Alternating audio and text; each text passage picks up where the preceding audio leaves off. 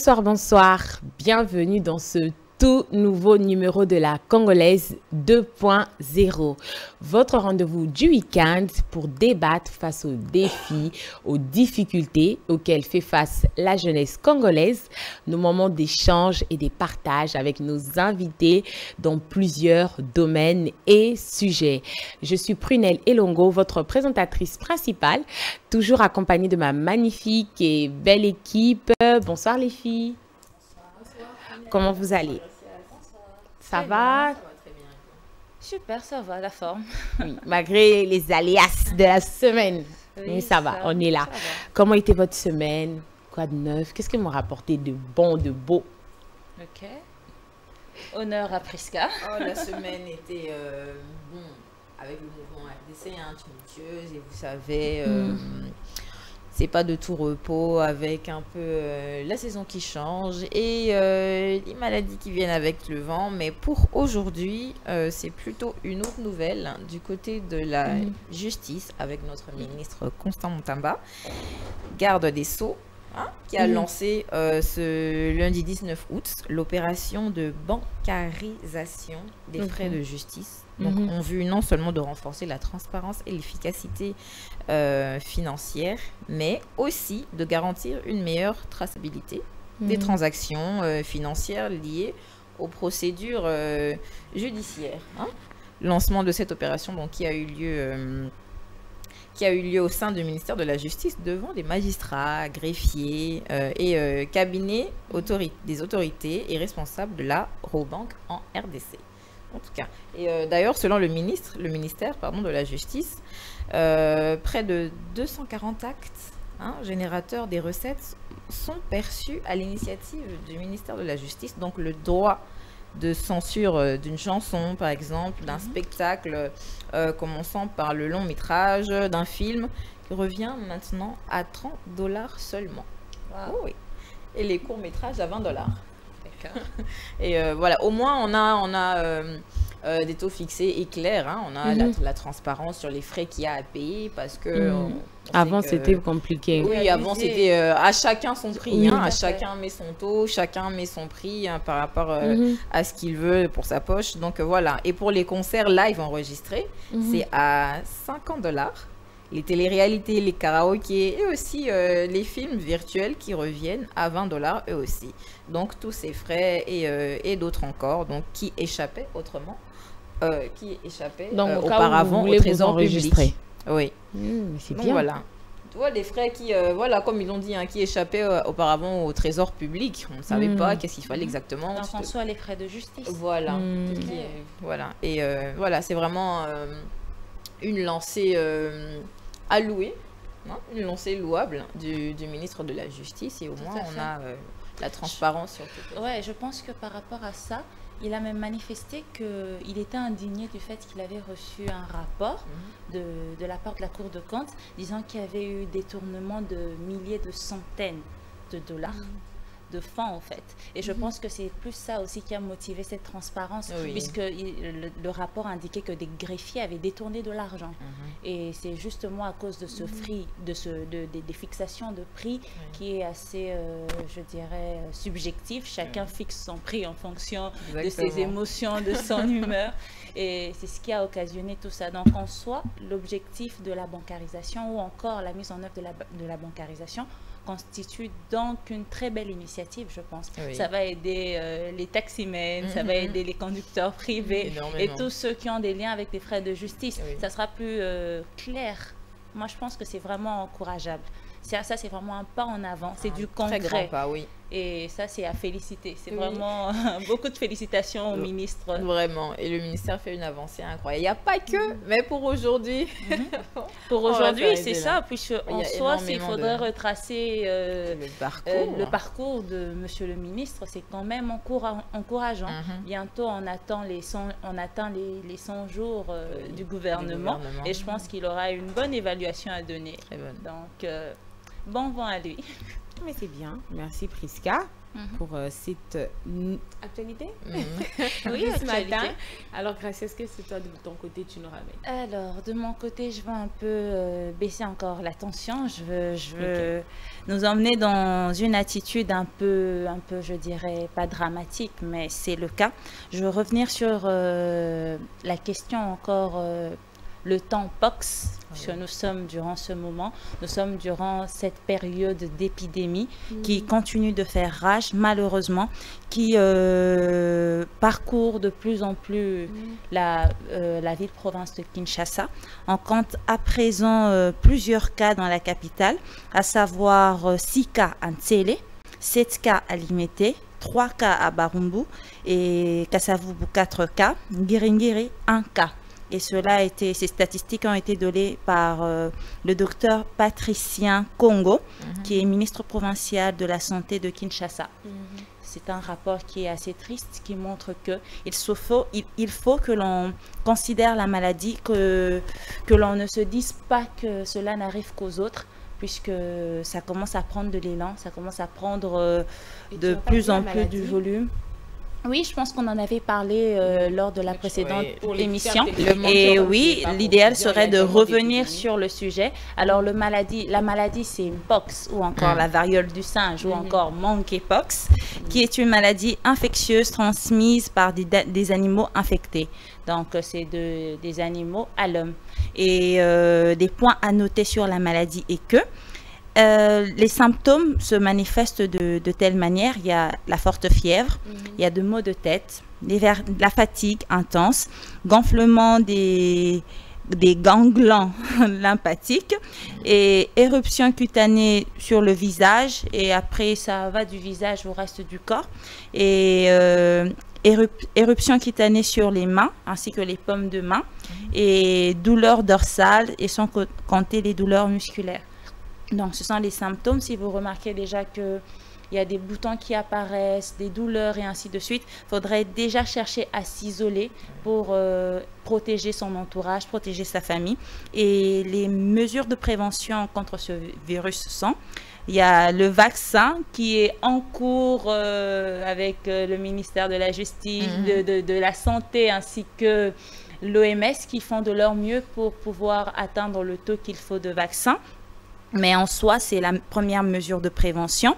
Et mis à part cela, il y a le lavage des mains et aussi euh, la désinfection des mains. Donc, euh, il faudrait avoir soit euh, la solution hydro, ce qu'on utilisait pour, pour le corona. Mhm. Donc, avoir des gels, euh, mhm. ce genre de trucs hydroalcooliques, voilà, qui nous aident euh, à nous nettoyer fréquemment les mains, même si on n'est pas tout le temps en contact avec de l'eau, mais ça nous aide à garder les mains propres. Et mis à part cela, il y a également euh, la distanciation sociale avec les personnes atteintes de la maladie et leurs objets ici. Il y a également cacher les éruptions. Porter également un masque. Ça, c'est une mesure qui est ah assez nouvelle, puisqu'on ne parlait pas encore de masque, mais mm. maintenant que mm. on a remarqué le taux de contagion de la maladie, donc euh, on a suggéré qu'il fallait également mettre des masques en mm. vue de se protéger au cas où on serait avec une personne à ah, proximité qui atteint de la maladie. Donc, et sans le savoir également. dans certains pays, j'ai cru savoir qu'il pourrait, qu'il se pourrait qu'il y ait encore un confinement si, en par rapport à cette recrudescence. En tout cas, c'est... Mais je sais pas j'ai pas encore essayé d'évaluer les cas au niveau de l'Europe. Il y en a déjà, je ne sais pas, j'ai pas évalué cela.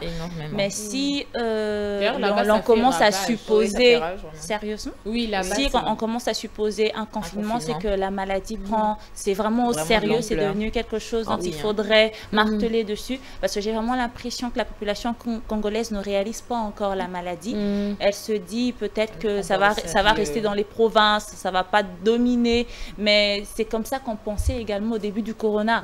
Et finalement, on est entré en confinement de plus de trois mois, mhm. quatre mois d'inactivité. Donc, euh, évitons de propager la maladie, mhm. respectons les mesures de prévention et euh, faisons confiance à notre gouvernement pour trouver le taux pour avoir assez de vaccins à transmettre à tous les malades. Voilà, c'était l'actualité un peu dramatique de cette soirée. Merci Gracias. Oui, c'était très bien. Au moins, tu as insisté sur la variole de singe. Comme ça, les gens, ils savent comment ils peuvent prendre des mesures pour se protéger. Parce qu'il ne faudrait pas qu'on arrive dans les mêmes cas que certains pays en Europe qui, qui veulent maintenant aller jusqu'au confinement. On ne veut pas d'une deuxième vague de confinement. c'est ça. non, merci. Non, merci. Donc, protégez-vous au maximum, en tout cas. Alors, euh, on va débuter l'émission. Comme toujours, nous commençons notre émission, nous débutons notre émission avec la citation du jour qui nous sera dite par Gracias. Par la suite, nous allons vous présenter notre invité, on a, un monsieur, on a avec nous un monsieur très exceptionnel avec qui nous allons débattre sur les sujets d'aujourd'hui. Par la suite, euh, nous allons passer à la table ronde, à la table ronde, notre moment préféré, notre moment d'échange, euh, où euh, nous allons mettre sur table nos avis. Juste pour chuter, il y aura le conseil du jour. Alors, Gracias, la citation, s'il te plaît. Alors, la citation que je vous apporte euh, en cette soirée, en ce tout nouveau numéro de la Congolaise 2.0, nous vient d'un homme d'église, d'un évêque anglican sud-africain, fervent défenseur des droits de l'homme et surtout reconnu pour son rôle dans la lutte contre l'apartheid en Afrique du Sud. Alors, euh, il s'agit de M. Desmond Tutu, je pense que l'image pourrait circuler déjà vers la régie. C'est un grand monsieur, un grand homme d'église, un homme qui a su mêler la religion avec euh, ses ambitions, euh, je dirais, humanitaire ou social.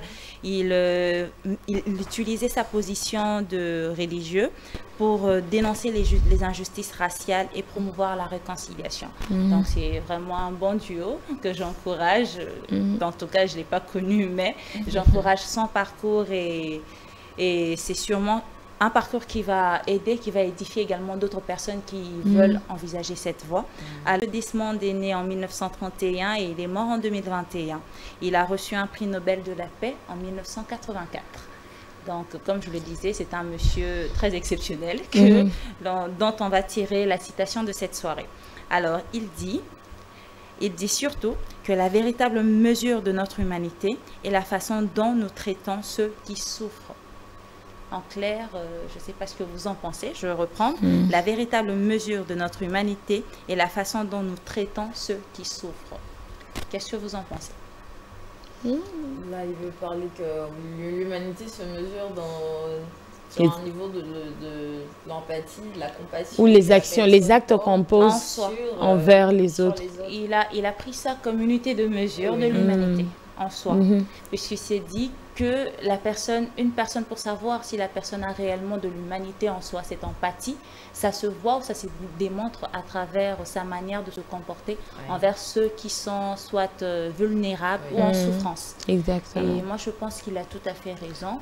Je ne mm. sais pas. Euh, non, mais c'est vrai. C'est ça. Aujourd'hui, même quand on voit des vidéos sur Internet, quand on dit humanity ou humanitaire, c'est souvent quand on voit les actes d'empathie, les actes euh, voilà, bienveillants envers ces personnes qui sont démunies ou qui sont en position de faiblesse. Voilà, parce que généralement, de nos jours, les plus faibles subissent un peu beaucoup de choses de la part de ceux qui, comme on dit, les plus grands, les plus forts, mhm. alors qu'on devrait plutôt euh, être euh, sympa, gentil avec eux, euh, les comprendre. Voilà, faire preuve d'empathie, c'est important. En fait, c'est plus mm. ça. Il, il, martèle le fait sur l'importance de l'empathie mm. dans des relations humaines. Mm. Puisque l'empathie nous aide d'une certaine manière à se mettre à la place de l'autre. Oui, exactement. Euh, je pense Et à comprendre aussi. C'est un sentiment qui devrait être tout à fait naturel de comprendre euh, la situation de l'autre, de se mettre à la place de celui qui souffre ou de celui qui est vulnérable. Exactement. Cela nous, empêche de s'en prendre à lui et encourage en nous un certain sentiment de protection envers mhm. cette personne vulnérable. Exactement. Donc euh, la citation est tout à fait claire et juste pour moi. Exactement. Merci Gracias pour cette citation qui est un peu une leçon morale pour euh, nous toutes, hein, nous tous voilà, de savoir qu'il faut faire preuve d'empathie envers euh, les personnes vulnérables, démunies, les plus faibles, comme des fois on dit, les personnes souffrant d'handicap, les personnes qui peuvent pas, euh, qui peuvent pas se défendre eux-mêmes. Il n'y a pas que les enfants, hein. mhm. D'accord. Merci. Alors, comme je disais, nous avons un invité spécial aujourd'hui. Nous avons avec nous, nous avons avec nous un docteur, euh, docteur Kibonge Kalonda Victor. Bonsoir, docteur. Bonsoir, mademoiselle Prunel. Comment vous allez? Ben, Je vais très bien, merci. Merci d'avoir répondu présent à notre invitation sur ces plateaux pour aujourd'hui. Tout le plaisir est pour moi. Merci. Alors, euh, qui est docteur Kibonge? Il est né à Lodja, en 1947. Il est des nationalités congolaises, évidemment. Après euh, avoir fait ses études à Lusambo, il a étudié à l'école technique de la Gombe à Kinshasa et a obtenu un diplôme A2 d'électricité industrielle.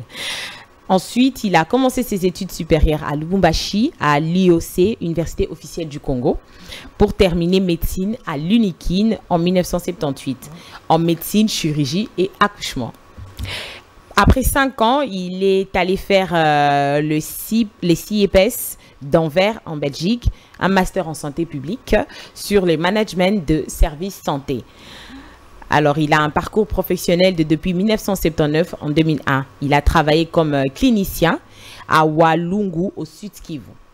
Par la suite, il a enseigné des cours de médecine dans la formation euh, en formant des infirmières et des accoucheuses et en enseignant euh, en épidémiologie à l'ISTM Bukavu. Et il est formateur en SSP pour le ministère de la Santé. Soins de santé primaire. Soins de, ah, soins de santé primaire, d'accord. PEV tuberculose, c'est ça? Vous allez nous expliquer. de vaccination, tuberculose. D'accord. Voilà, tout ce qui est nutrition, choléra, endémie euh, diverses. Ensuite, il est consultant sur divers programmes d'enseignement ou de lutte contre les maladies. Voilà, et voilà, c'est un médecin humanitaire depuis 2001 à 2017 en RCA et en RDC au Tchad, au Congo, mission ICO. Et aujourd'hui, il est euh, euh, médecin directeur à l'hôpital euh, CMSS qui, qui est un hôpital spécialisé. Bon, c'est une, hôpital stratégique Medical Solution voilà, qui est spécialisé dans trouver des solutions dans tout ce qui va dans le sens de la médecine. Il nous en dira plus. Je ne sais pas si je vous ai bien présenté. C'est ça. On a un hôpital qui donne tous les soins, mais mhm. aussi on est une institution qui gère aussi pour d'autres mhm. entreprises leurs services de santé. D'accord. Ok, merci monsieur docteur, pardon, Kibongue. voilà, c'est un plaisir en tout cas avec les filles de vous avoir pour échanger sur le sujet d'aujourd'hui. Alors c'est le moment de passer à la table ronde. Mhm. notre moment préféré. Comme je l'ai dit, euh, le sujet d'aujourd'hui sera les maladies chroniques et travail. Comment les concilier? Aujourd'hui, nous allons un peu parler des quelques maladies chroniques qui justement font ravage dans notre société et surtout les concilier avec le travail, comment ça marche, parce que tout le monde n'est pas euh, malheureusement en pleine santé. On a tous des maladies, pas tous, mais quelques-uns, on a tous des petites maladies chroniques qui va par-ci par-là. Comment, comment faire, comment vivre avec, parce que c'est pas évident. Alors aujourd'hui, on a avec nous un expert qui va justement nous expliquer certains cas et aussi euh, comment faire pour justement euh, vivre avec, même surtout dans le milieu professionnel. Donc, pour commencer, les filles, nous allons d'abord définir c'est quoi les maladies chroniques voilà, expliquer un peu parce que je pense que c'est pas tout le monde qui comprend. Voilà, généralement on pense que ce sont les maladies graves, graves ou euh, voilà mhm. incurables. C'est aussi ça, mais vraiment c'est quoi? Vraiment la vraie définition. voilà. Euh, Ensuite, docteur, vous allez enrichir les réponses. Déjà, il euh, faudrait qu'ils arrivent à faire la différence peut-être entre maladie chronique et mhm. maladie aiguë, par exemple. Mhm. Euh, la différence, c'est que la maladie chronique, elle, c'est une maladie, on va dire, qui dure vraiment longtemps. Mhm. D'accord? Et elle, elle, commence, elle a un petit début et elle, se, elle, elle, euh, elle grandit, hein, elle, elle, grande, elle évolue dans le temps et elle dure longtemps, contrairement à une maladie aiguë qui peut venir qui peut surgir euh, subitement, mais au final euh, finir, hein, évidemment. Donc euh, on a énormément de maladies chroniques, si je peux citer. Et souvent, souvent aussi les maladies chroniques, il faut le dire, les maladies chroniques mhm. souvent sont héréditaires. ce sont des mm. maladies vraiment héréditaires. Hein, On en mm. connaît plein, il y a le diabète, etc. Et alors qu'une maladie aiguë, bah, ça peut partir, ça peut être euh, de la malaria ou que les maux de tête, souvent, régulièrement, les maux de tête, c'est mm. aussi un signe que ça va pas du tout dans le corps. Et euh, voilà, en tout simple. Gracias. Donc, euh, en clair, pour résumer ce que Prunelle a dit, je me fiais à maladie chronique, chronostant. Mm. Donc, pour moi, c'est une maladie qui, dans les effets, persiste dans le temps. Mm. c'est une maladie, ça peut être inné, on peut le développer, je suppose, Mais je sais qu'en soi, la caractéristique majeure d'une maladie chronique, c'est qu'elle persiste dans le temps. Mm. C'est généralement à trois mois qu'on peut parler de maladie chronique. Je ne sais pas si euh, le docteur va Mm. nous éclairer par Effectivement, à vous avez bien cerné le problème euh, de Mhm. cette chronicité. Elle dure dans le temps et elle a un retentissement sur la vie quotidienne. Mhm. Et le problème, c'est qu'elle peut aboutir vers, des complications assez sérieuses, quoi, hein, et qui peuvent même être invalidantes pour la personne qui souffre de cette maladie-là. Mhm. Et comme vous avez dit qu'elles peuvent être héréditaires ou euh, euh, comme ça, mais disons que nous pouvons distinguer qu'il y a des maladies chroniques acquises Oui. et d'autres qui peuvent euh, être euh, Mhm. transmissibles même parmi les acquises, parce que Mhm. aujourd'hui vous connaissez tous le sida, le. VIH, c'est une maladie chronique puisqu'elle est incurable. La tuberculose est de très longue durée. Euh, la lèpre, donc on a une série d'autres maladies comme ça transmissibles. Dieu merci, actuellement on a des solutions pour leur prise en charge. Et il y a les autres qui ne sont pas transmissibles, vous avez déjà abordé, comme le diabète. Hein? donc euh, la gamme est immense. euh, il y en a qui concernent le système cardiovasculaire, le système nerveux. hein? il y a d'autres qui les, les, les systèmes articulaires et euh, ostéo-musculaires. hein? donc euh, les gens qui souffrent d'arthrite, de, Oui. de rhumatisme, etc. Comme le sujet est tellement vaste, on ne pourra pas en si peu de Mhm. temps euh, aborder. Toutes Il faut peut-être voir sous l'aspect, euh, c'est mon domaine, la santé publique, l'épidémiologie, quelles sont les plus fréquentes et Il qui concernent exactement, plus c'est même les questions qu'on la question que j'allais demander, mieux. les maladies qui sont le plus fréquents, les Oui. trois cas, et qui justement impactent la vie professionnelle. Est-ce que vous avez une Euh, idée, les bon, filles? euh, D'accord. Alors, je veux essayer de donner sur base de personnes que j'ai rencontrées Mhm. qui vivaient avec des maladies chroniques Mhm. euh, au quotidien. Il y avait des personnes ayant l'asthme.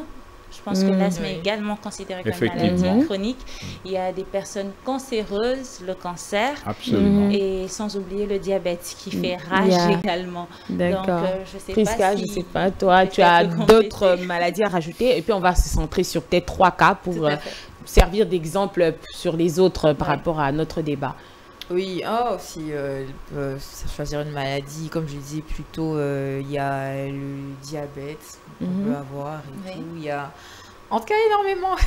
Il y a, je pense Bon, aussi, la- euh, la- les- il y a aussi la- les la- maladies côté également. psychique, Oui, euh, il y a Des troubles de comportement, par Oui. exemple Oui. alimentaires, les gens qui Mhm. ont une boulimie de trop manger Yeah. ou une addiction à la drogue, Yeah. à l'alcool. Ah, ça devient aussi un problème chronique Yeah. et dont la prise en charge est très Mhm. complexe parce qu'il Mhm. faut se défaire de mauvais Ouais. comportements. Moi, je peux rajouter euh, l'anémisme. Je sais pas, il y a un L'anémie. terme. la- L'anémie. la- L'anémie, voilà. Ça, d'ailleurs, je crois que même c'est très fréquent ici en RDC. On a les, la, la- la- les problèmes des tensions. Oui. Je sais pas s'il y a un terme médical précis pour ça. ça. Voilà, ça, généralement, c'est les parents ou plein de personnes vivent ça. Où on- à la longue, on prend des médicaments à chaque fois qu'il y a un, pe- un petit souci seulement.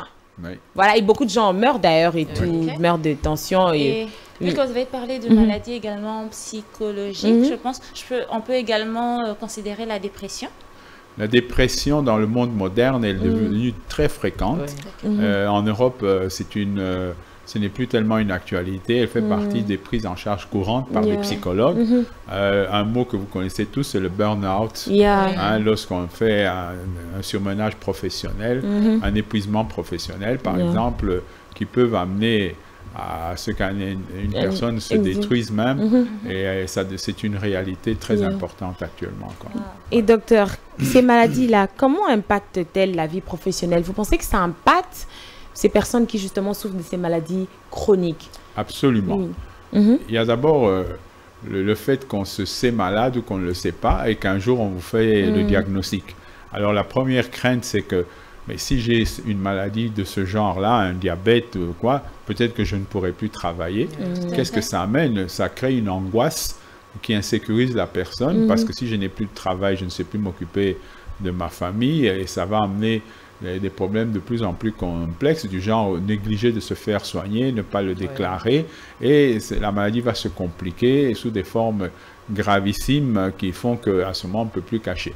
Hein, je me rappelle un slogan qu'on disait pour le sida, parce que les gens ne voulaient pas se faire dépister, on disait faites-vous dépister, sinon après c'est le voisin qui vous dépiste parce que vous aurez évolué dans un état tel d'amaigrissement et tout que tout le monde dira mais Azan a sida. Mm. Donc c'est l'homme de la rue qui vous dépiste, quoi.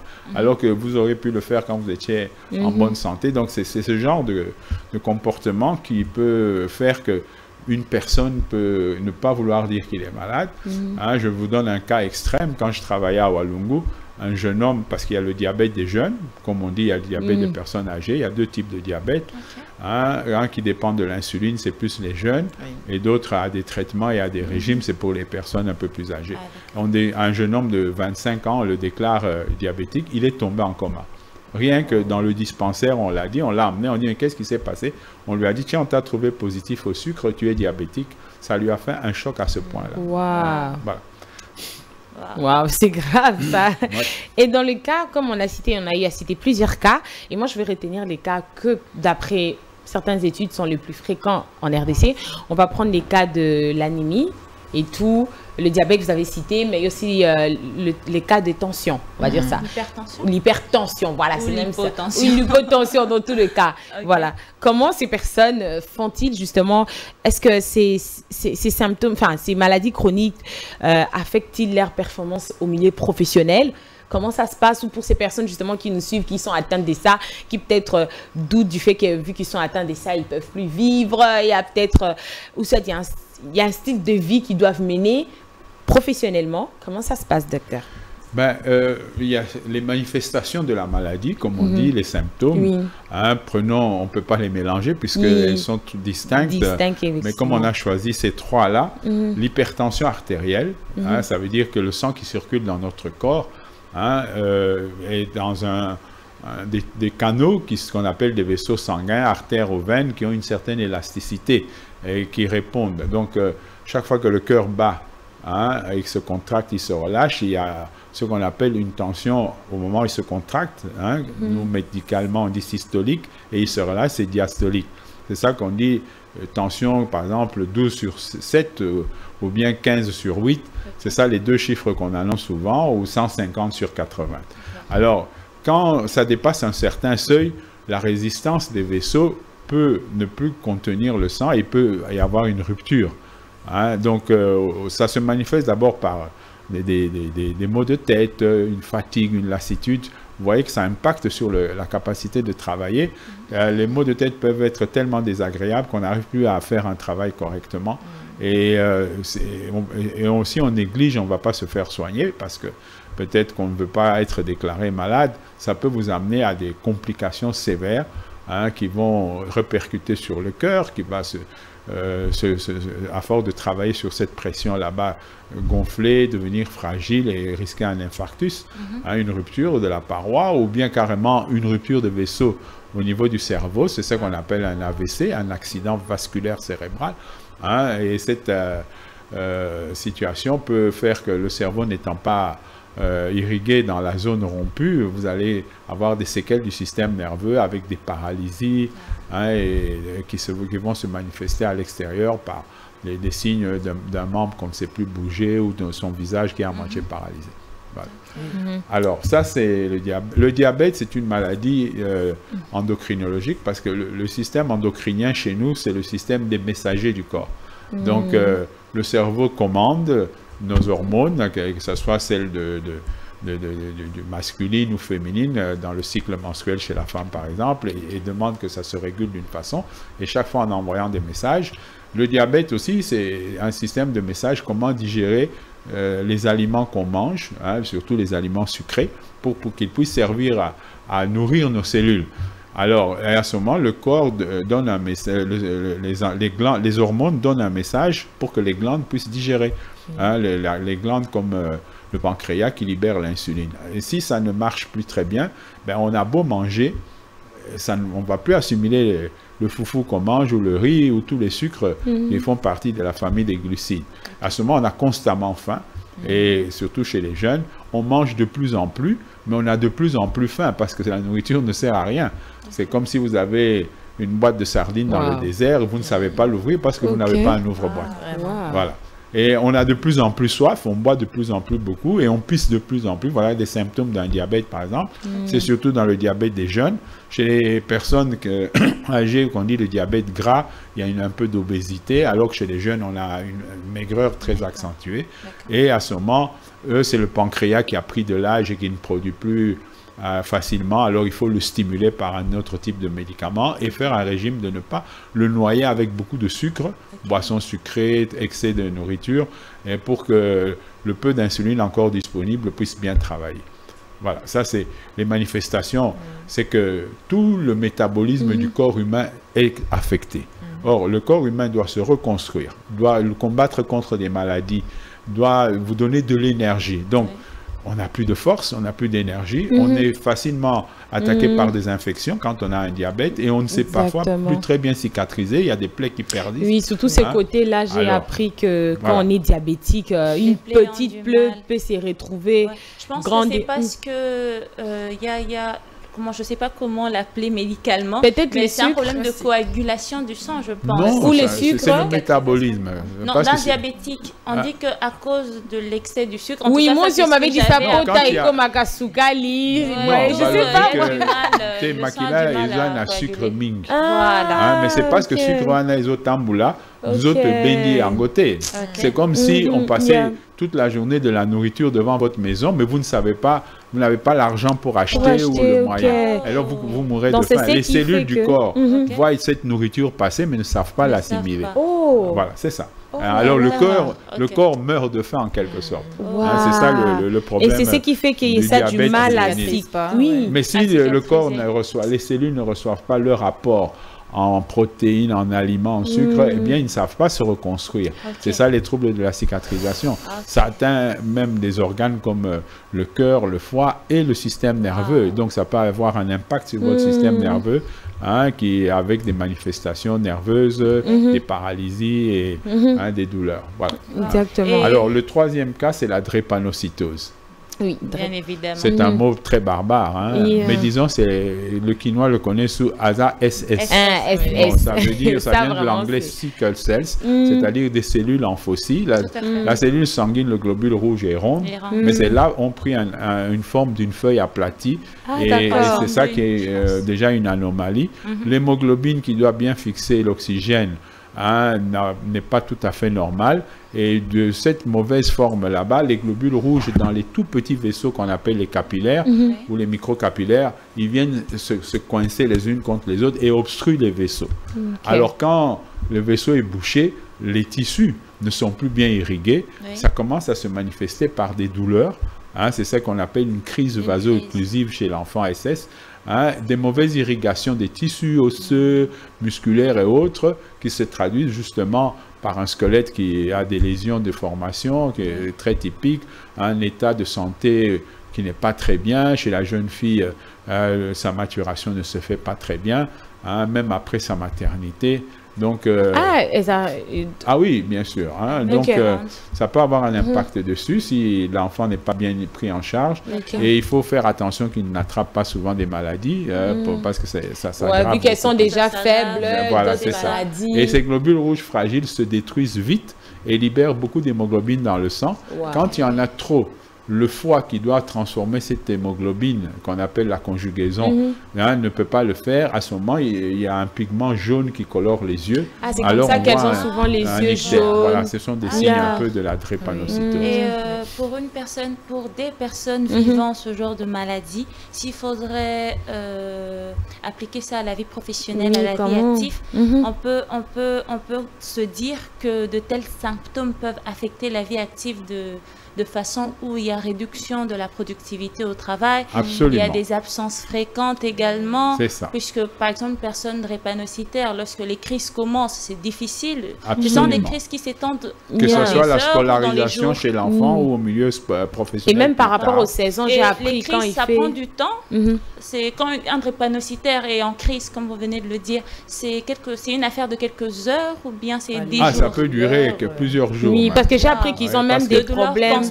Oui, euh, Oui. parce que vous allez voir des manifestations os. de gonflement des Mm. articulations et tout ça. Mm. Hein, mais s'il est pris en charge, parce que le corps manquant d'oxygène, hein, et la circulation ne se faisant pas très bien, on va donner des traitements qui permettent un peu de lutter contre cette agrégation des globules rouges hein, pour que le sang soit plus fluide que les vaisseaux se dilatent un peu plus. Il y a des, médicaments qui agissent justement là-dessus. Mhm. Et euh, contre l'agrégation aussi, euh, qui, les rendent plus fluides.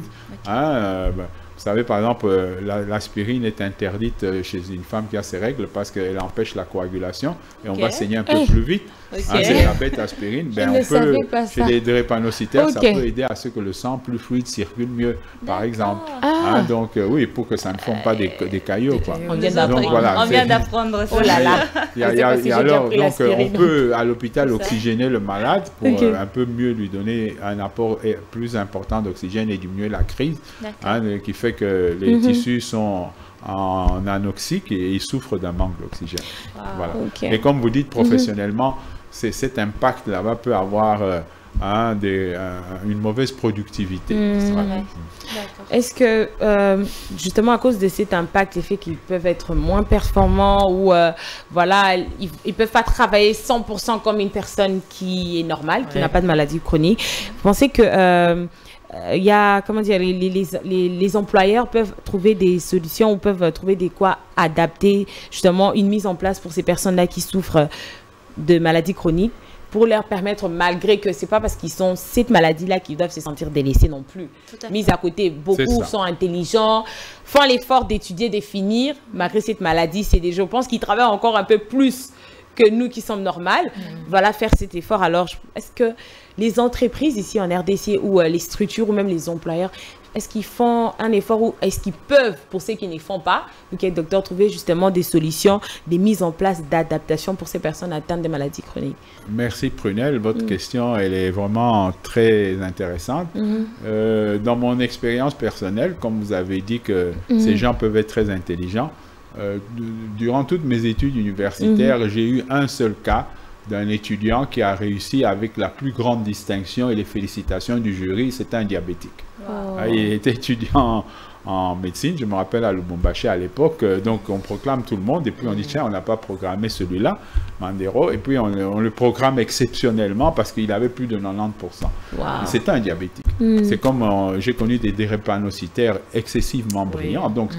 c'est c'est une ressource nationale qu'on ne peut pas perdre en disant ben, il est malade, on n'en a pas besoin.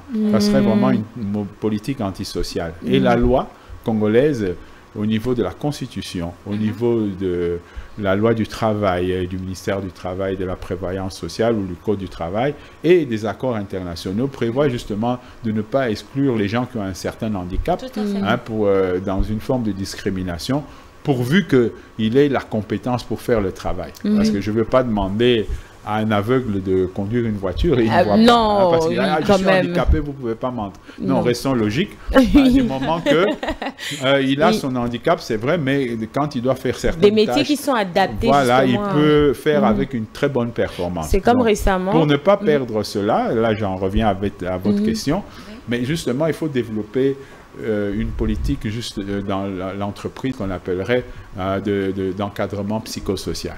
Alors ça se fait très bien dans beaucoup de pays.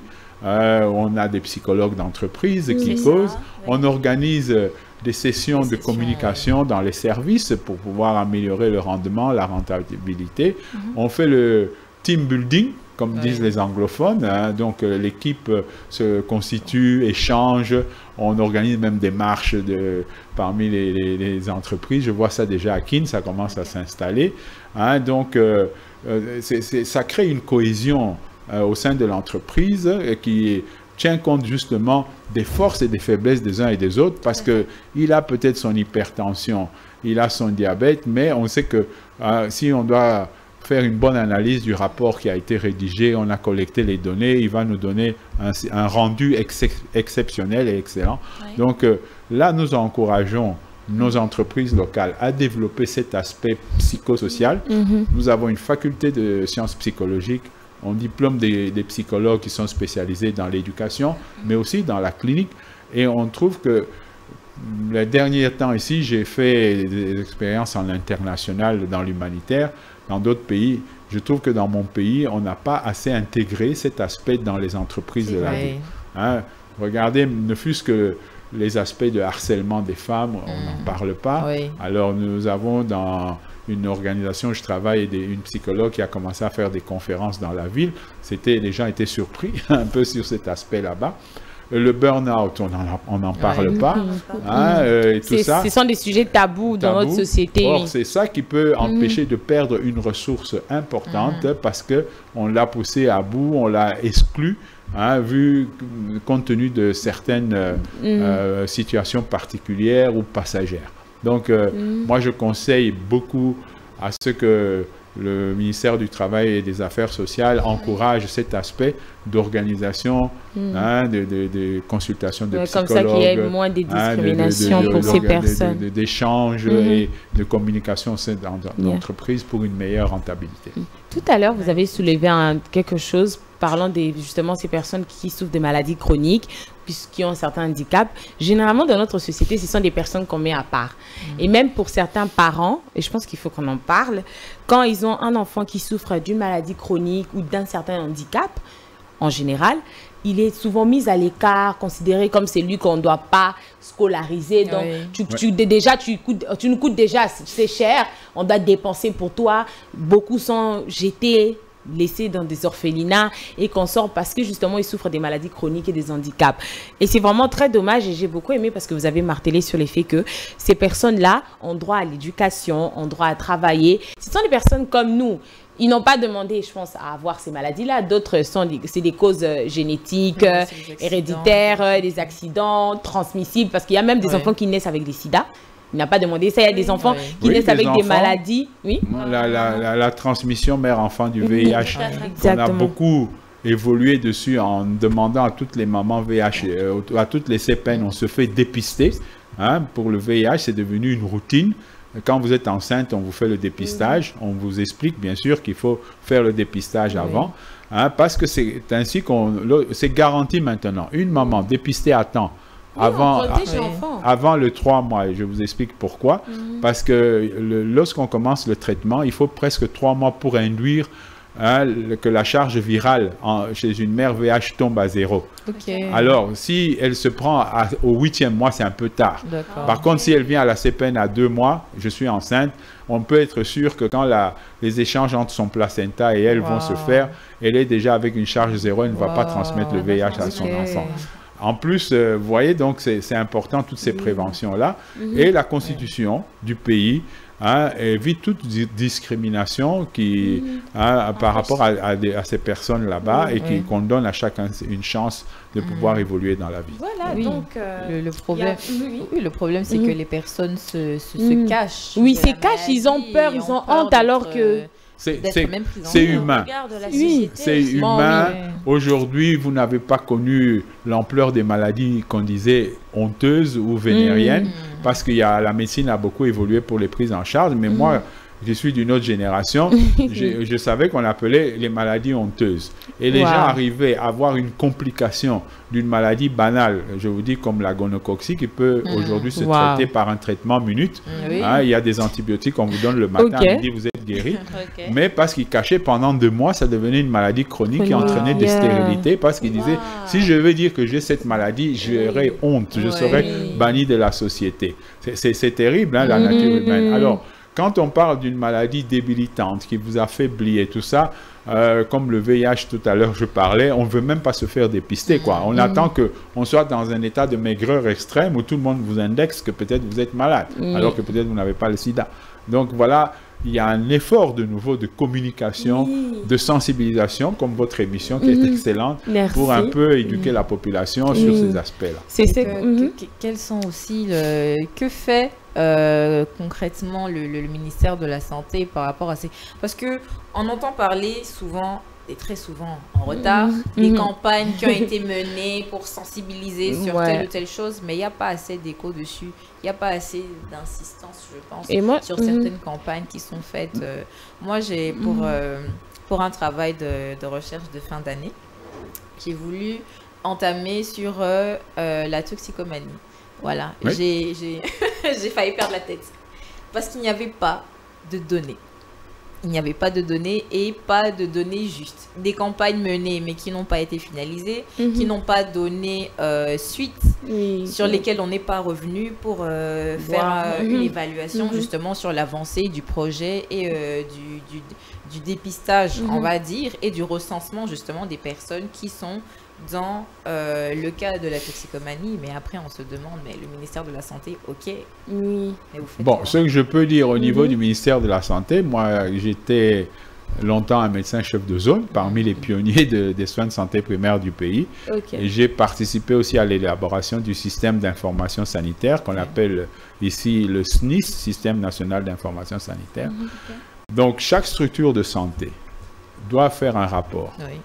Au niveau de sa hiérarchie, c'est-à-dire euh, les cabinets privés, les centres de santé doivent donner à leur zone de santé un rapport d'activité où il y a un bulletin épidémiologique par rapport à toutes les maladies, mais aussi à ces maladies comme on appelle les addictions, parce qu'elles sont reconnues dans la liste de ces maladies. À partir du moment où dans le SNIS, même si ça n'est pas là, on a avait prévu une rubrique lorsqu'une maladie atteint une certaine prévalence, c'est-à-dire un certain nombre de cas dans la société, hein, ou une incidence, c'est-à-dire les cas qui se produisent mensuellement ou annuellement, il faut en faire un rapport parce que ça devient un problème de santé publique. Et euh, peut-être c'est ce- peut-être ce suivi qu'il faut stimuler.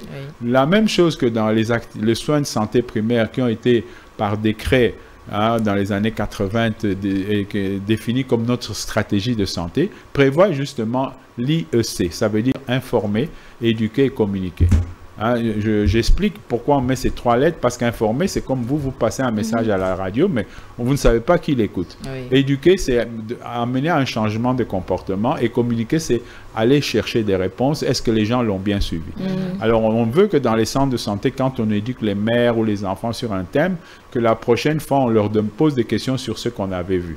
Alors, il faudrait que le médecin responsable de la santé de la ville voit ici épidémiologiquement les cas d'addiction deviennent un gros problème de santé publique et puis les leçons sur l'addiction, les risques du tabac, de drogue et de l'alcool, il y en a partout. On- il y a des livres entiers dessus. On pourra faire des messages récu- réguliers et, et- et- et récurrents. Je me rappelle, il y a 20 ou 30 ans, on avait des affiches dans toute cette ville où on disait si tu conduis, ne bois pas. Si tu bois, ne conduis pas. Voilà déjà une façon de lutter contre la colonie. Oui. Mais ça, moi, je oui, pense ça que- continue aussi, Mhm. mais malheureusement, ça n'a plus la même ampleur qu'à Oui. Il l'époque. faudra refaire. Changer les techniques. Ce genre de maladies, les addictions surtout, ne sont Mm. pas encore pris vraiment en compte par la population congolaise. La ça. population congolaise pense encore que ce sont des maladies euh, occidentales, ce sont des Mm. maladies des blancs et que c'est pas quelque chose à vraiment marteler dessus en RDC. Pourtant, nous avons beaucoup de personnes qui vivent ces addictions, qui meurent d'ailleurs de ces addictions addictions. sans savoir qu'ils étaient addictifs. Et les autres même Pourquoi Parce les que pour eux, ils se disent que Mhm. c'est comme ça, c'est Mais normal, parce c'est la que vie. Il n'y a pas assez de sensibilisation dessus. Même Oui. les pancartes qui disent euh, euh, le tabac tue ou euh, Oui. on Ouais, boit c'est- pas. voir maintenant, que la boisson est énorme sur la Non, non, le- législateur a fait- pour dire. le législateur a fait beaucoup d'efforts. Si vous regardez bien sûr chaque paquet de, cigarettes, c'est écrit le tabac nuit à la santé. Oui. Et il y a même sur certains alcools, c'est commence à être écrit. Voilà, c'est une stratégie politique qui peut être intéressante. Ce que je pourrais répondre à votre argumentation, c'est que la ville n'est pas occidentale. La ville est un phénomène de société humaine. Le- les villes ont existé avant l'Occident, puisque dans l'Antiquité, il y avait des villes. Oui. hein, ici en Afrique, des très grandes villes.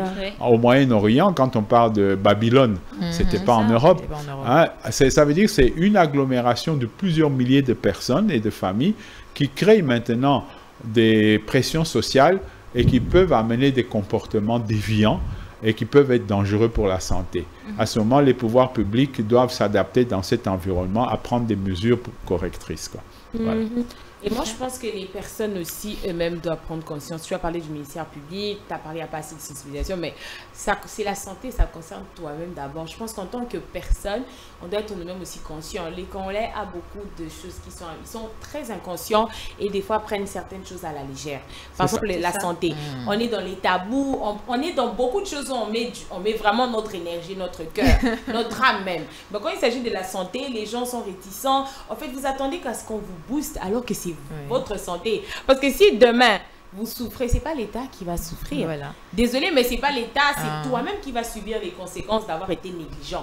On demande tout le temps, même les médecins, je pense qu'on dit tout le temps d'aller faire des examens de routine, Oui. juste pour savoir. Et de l'exercice Oui, physique. Voilà, pour regarder, c'est des choses simples que voilà, c'est des petits sacrifices que tu peux faire. Eh non, ça va m'écouter. Oh, tu vois, il y a des gens, des fois, eux-mêmes, tu sais, eh, il y en a coco salangote.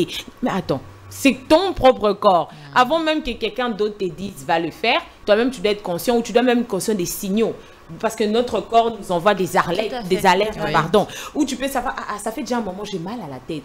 Tu vas pas rester Ok, attendre pendant Il faut un mois. absolument faut aller à l'hôpital. Tu vois déjà que non, j'ai des, j'ai une démangeaison, j'arrête pas de me gratter cette Oui. plaie-là. Qu'est-ce qui se passe? Mais Faut pas aller au à mon corps. On refuse pas, c'est très Mais bien. je, je Mais- sur votre intervention que le gros problème de l'être humain, Mhm. peu importe où, c'est la communication. Yeah. Euh, un philosophe disait que si on trouve les mots exacts qu'il faut communiquer, on peut changer les comportements des gens. Malheureusement, nous sommes imparfaits. C'est vrai, nous parlons tous français, lingala, tout ce que vous voulez, hein, swahili, et, mais on n'arrive pas à donner les mots qui touchent. Mais il y a des gens qui, dans certaines situations, ils disent le mot exact qui perturbe la personne pour qu'il change. J'ai eu deux cas dans ma vie comme médecin. Un cadre d'entreprise qui fumait beaucoup. Et un jour, on lui voit une tache au poumon. À l'époque, on n'avait pas trop de moyens d'investigation. Je lui dis, écoute, euh, tu connais, il y a le cancer euh, du tabac, euh, le cancer au poumon, le, le cancer du poumon qui vient du tabac. Là, ça devient un signe très alarmant. Ce monsieur a arrêté à fumer d'un seul coup. Alors que beaucoup de fumeurs essayent de... Yeah, c'est dans la tête aussi. Le message était que tu risques ta vie. Oui. Et puis un employé de l'hôpital qui était un alcoolique avéré qui n'arrivait pas à arrêter. Il maigrissait comme un clou. Alors un jour, je ne savais plus quoi faire. Le chef du personnel m'en parle. J'ai dit, bon, fais-le venir. C'est toujours à Walungu. Et je parle euh, au papa là. Je lui dis, bon, écoute, je pense que entre nous, amicalement, je ne suis plus le directeur de l'hôpital. Euh, il faut quand même que tu avertisses à ta famille que tu vas mourir. Il dit, ah, mon gars, Nini, c'est en swahili, quoi. Yeah. Je dis, mais regarde comment tu maigris, je te donne pas pour longtemps. Je- Tu es adulte, je ne peux pas t'empêcher de boire, mais mets tes bon. affaires en ordre. Je vous jure, il a arrêté de boire. Ça peut être Hein, positif. ça l'a paniqué tellement qu'il a cessé de boire. Oui. Bon, voilà, c'est une Bon, moi, je façon pense qu'il faut avoir des, des stratégies Hein, justement voilà. pour que ces personnes. Comment amener nos concitoyens Mm. à prendre conscience d'abord qu'il y a un danger? C'est peut-être que nous ne trouvons pas le bon message. Oui. Hein, donc on ne sait pas comment un peu Voilà. C'est bouger la tête. que les médecins ont leur déontologie. Je pense que d'après le serment que vous prêtez, d'Hippocrate, je suppose, c'est toujours ça. c'est ça. D'après ce serment, vous avez une façon ou une logique de communiquer à un Absolument. malade sa maladie. Absolument. Donc, vous devez éviter, d'après votre déontologie, d'alarmer une personne atteinte d'une maladie. certaines personnes que peut- Pas, pas nécessairement. Pas nécessairement. Que je Aujourd'hui, vous savez qu'on a, vous avez tous entendu parler du counseling Oui. pour le, V- le VIH. Ah, d'accord. On ne peut pas communiquer à un malade VIH ou même d'autres maladies comme le diabète où je vous ai parlé de ce jeune homme qui est tombé. hein, une maladie grave sans dire à la personne hein, que voilà, hein, ce n'est pas la fin du monde, il y a des solutions, ne vous tracassez pas. Avant de faire un test VIH, on demande de faire un counseling. On prépare psychologiquement. Ça, c'est un mot anglais, mais en français, on dirait c'est la préparation psychologique. Et au moment où on communique si le résultat est, est psychologique, il faut lui dire, en, en bref, ce n'est pas la fin du monde, il y a de l'espoir. Mais avec les mots et les explications et tout ça. Ici, comme je parle de ces cas, c'est une Mhm. personne qui est déjà à bout et effectivement, il est en danger. Yeah, Bah oui, il faut un peu booster, je Hein, pense. Je, je me disais, je tente un bluff psychologique parce que c'est vrai, il n'était pas en vrai danger de mort, mais c'était un peu de l'effrayer. Oui. Il venait Yeah. au travail, puis je vous dis, il tient sa machine, il tondait les pelouses et tout ça, mais c'était toujours en état d'ébriété, quoi. Alors il fallait le secouer une bonne fois. Je Par pense contre, l'autre cadre pour son cancer du poumon, j'ai rien dit d'interdit. J'ai dit non, il y a une lésion à votre poumon, ça peut être dangereux. Mais Oui, lui, oui. comme c'est un cadre, un ingénieur, Oui, il, il a fait l'extrapolation. Il a dit, docteur, est-ce que je suis en danger? J'ai dit, c'est possible. Hein, Vous pouvez faire un cancer. Bon, dans Oui, certains ça, cas, si je comprends, c'est normal. dans Ça, certains cas, on peut être euh, direct ou brutal pour justement pousser cette personne à arrêter. Il faut adapter le message parce Par que rapport à- au cas. oui. un autre aspect dans la communication, ne généralisez jamais. Oui. Il y a des, les personnes sont, ont des sensibilités différentes. Alors, il faut adapter aussi au niveau de votre interlocuteur. Yeah. Certains messages peuvent être très mal interprétés, d'autres peuvent être bien compris. C'est pas une chose facile. C'est le thérapeute qui, a- face à son patient, qui doit dire je le pratique depuis un certain temps, je veux communiquer de cette façon. C'est exactement comme nos enfants. En Europe, on a interdit de taper les enfants et tout ceci. Pourquoi? Parce qu'il y a des parents fous qui arrivaient à brutaliser jusqu'à tuer leur enfant. Oui. Comme vous connaissez l'histoire des femmes battues, Mhm. on connaît dans cette ville des femmes qui meurent de brutalité comme euh. Mais moi, j'étais un enfant, mon père m'a souvent donné des corrections et tout ça. Ah je ne suis jamais devenu un, un Oh, déviant. normal, hein. Le tout, c'est de savoir jusqu'où Oui, s'arrêter. voilà. Alors, comme on ne peut pas généraliser les mesures, euh, par précaution, on préfère dire ne brutalisons pas les enfants, Yeah. pas plus de, co- de corrections euh, psychologiques. C'est pour éviter les 1 ou 2 ou pour cent de, de cas dangereux qui peuvent mettre en danger les vies humaines. quoi. Voilà. Merci, docteur. En tout cas, les filles, ça va, non? Bon, il y a une- un autre Oui. aspect que euh, je ne sais pas si l'heure Oui. permet, c'est qu'on disait est-ce que maintenant, avec les moyens modernes, Oui, oui, On justement, peut, je voulais... euh, là, les outils technologiques voilà. peuvent-ils justement faciliter le travail pour ces personnes-là atteintes des maladies chroniques? Bon, bien... Depuis la nuit des temps, on a dit que la modernité a permis l'homme de le faciliter. Oui, Hein, oui. je suppose que à l'époque des pyramides, euh, on portait tout sur le dos. Oui. hein, ou en poussant, et puis un jour, euh, les Assyriens ont trouvé la roue, ça devenait plus facile à rouler. Des siècles après, on a trouvé le moteur. Aujourd'hui, nous sommes à l'ère de l'informatisation et des automates et des machines. Alors, euh, je pense que en médecine, les- malades peuvent avoir un système de suivi. Par exemple, euh, nous, en médecine, on peut mettre un équipement sur un hypertendu pour suivre pendant un certain nombre de jours l'évolution de sa tension artérielle. Ça, nous, lui ça permet d'être alarmé plus souvent. Aujourd'hui, on a des montres connectées qui avertissent à quelqu'un, Ouais, attention, ça ne va pas. Hein, euh, on pourra même dire que son, sa- son sucre est trop augmenté bientôt, c'est en cours. Hein, voilà, donc ça permet, qu'est-ce qu'on on peut appeler l'alerte précoce qui permet de prendre en charge tôt et d'éviter les complications qui peuvent être mortelles.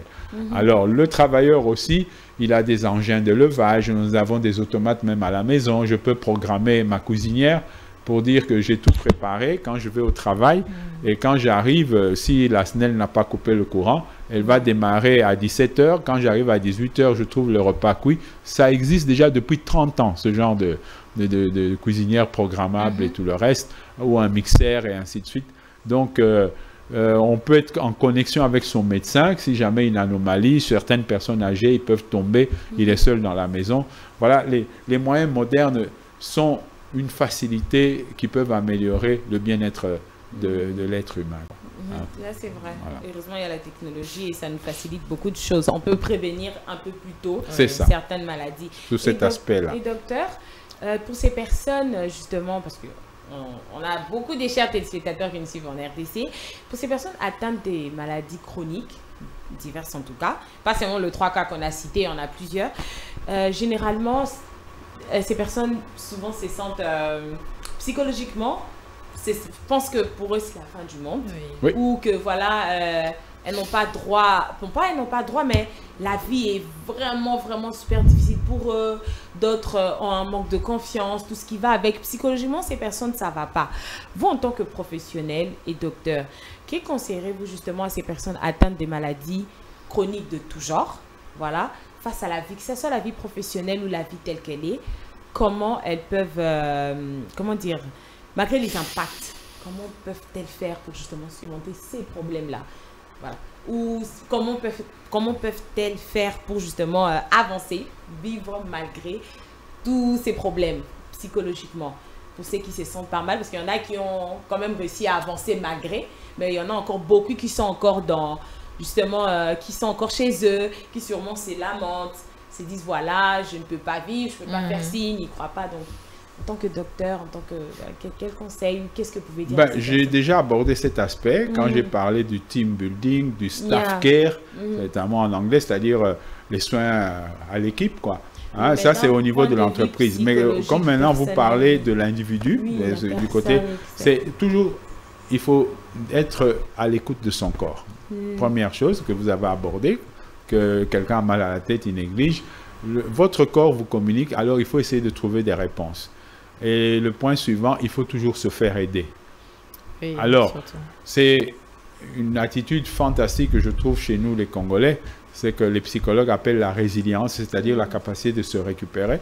Hein, donc, euh, même des, j'ai vu, j'ai beaucoup été dans la période où il y a eu des, viols euh, au sud Kivu là-bas. J'en ai traité pas mal avec euh, mon voisin, docteur Mukwege. J'ai fait pas mal de fistules aussi. Et le, le, je, je, ne comprenais pas comment ces femmes se récupéraient. Donc, il y a quand même des ressources très importantes chez nos populations. Mm. Maintenant, il faut les aider. Alors, une aide, c'est peut-être la spiritualité. Bon, pas mm. peut-être certainement, parce que je suis croyant aussi, mais là, il y a de l'abus. Hein? La, spiritualité étant devenue un business, il y a plein d'églises qui émergent juste pour pouvoir exploiter le, croyant, parce qu'il croit, alors on veut le soutirer le maximum. Mm. Hein? Moi-même, je n'ai jamais connu le Christ, euh, ni qu'il a construit une église ou quoi. Il allait prêcher et il habitait chez les gens. Maintenant, nous avons des, des églises qui sont millionnaires et, le, le, le, pauvre citoyen est peu aidé. Mhm. Alors justement, nos églises devaient être des associations, c'est vrai, on prie ensemble, c'est important parce qu'on partage, ça crée une solidarité, mais ça doit aller plus loin. Il faut encadrer les faibles, il faut les soutenir. Voilà, ça, ce serait peut-être une chose. Et trouver même des occupations pour ces gens handicapés. Mhm. Hein, donc, euh, c'est très important. Et euh, à côté de l'Église, il y a la, la, médecine, donc la branche que nous appelons la psychologie. Hein, la, psychologie est très négligée dans notre pays. Euh, quand je vois un film américain, un film policier, un policier a un comportement aberrant, on dit tu deviens agressif, ah, tu dois aller voir le psychologue. Dans un bel film policier. Mm. Donc ça fait partie de la vie de tous les mm. jours. Nous, nous avons des psychologues qu'on diplôme, mais personne ne les utilise. Alors c'est une classe sous-utilisée. On devrait faire en sorte que ces gens ont reçu le, la formation et l'équipement pour pouvoir venir en aide des gens en détresse mm. et les soutenir pour qu'ils puissent dire que la vraie euh, puissance d'un être humain, c'est ce que Dieu a mis en lui et qu'il puisse faire appel à ça pour pouvoir surmonter ses difficultés. Voilà, donc ce sont des voies qui peuvent arriver à, à donner des solutions. Et un point aussi qu'il ne faut pas négliger, ça existe déjà beaucoup au Congo, ce sont les associations. Hein, puisqu'il y a des associations d'handicapés, il peut y avoir des associations de diabétiques, des associations d'hypertendus, de, et entre eux, ils peuvent se, soutenir. Je hein? pense qu'on voit ça beaucoup en Occident, où il y a des clubs comme ça de ces personnes Exactement. qui ont des maladies chroniques. ça dépend. Hein. Ici, par exemple, on a tel cas incurable, et si c'est là, comme ça, ils peuvent discuter, partager, voilà, c'est conseiller, se motiver c'est fortifié. C'est même un aspect de la religion que moi j'interprète, peut-être mm. pas des, mes, mes, pasteurs ou mes prêtres. Je dis, mais enfin, euh, excusez-moi, hein, Dieu s'en fout un peu de ce que nous faisons de la religion parce que d'abord, il nous a donné un libre arbitre. J'ai le choix d'accepter ou pas. Et dans ce libre arbitre, il veut qu'on utilise notre tête et qu'on réfléchisse. Et deuxièmement, qu'on s'aime les uns les autres. Alors, si on a créé, il a créé des religions et des cultes, c'est pour qu'on se regroupe pour s'entraider. Mm-hmm. Hein, c'est vrai, en priant, on partage, mais le but de ce partage, c'est arriver un peu à s'entraider. C'est cet aspect que souvent qu'on néglige. Là, c'est vrai. Mm. Merci beaucoup, docteur Kibongue. Alors les filles, sinon c'est bon, je pense que ça a été clair pour nous. Oui, très clair. spectateurs, on espère Exactement. Merci les filles pour vos arguments et questions, pour avoir animé cette table ronde.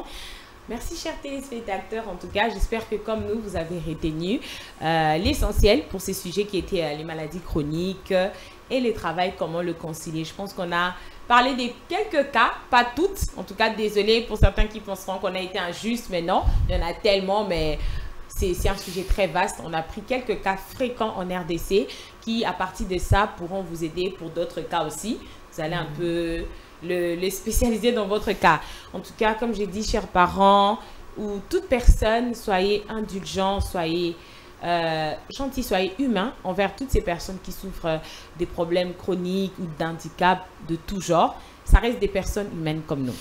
Donc, il faut bien les traiter, comme l'a dit Gracias dans sa citation euh, du jour. Il faut bien traiter ces personnes-là, faire preuve d'empathie, de gentillesse, les aider, les soutenir parce que déjà, la vie n'a pas, ne les a pas fait cadeau.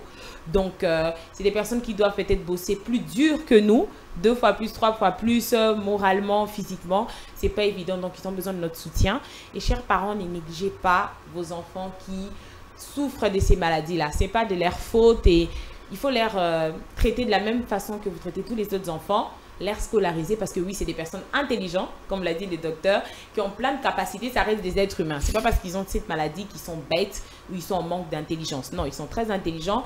Les aider plutôt à développer des capacités qui vont leur aider justement, euh, malgré leur handicap, à travailler, à se battre dans la vie et à avancer comme toute personne. Ils ont sûrement des rêves, des ambitions, mais il faut que ça va dans le cadre euh, qui, euh, par rapport à leurs capacités. Donc merci.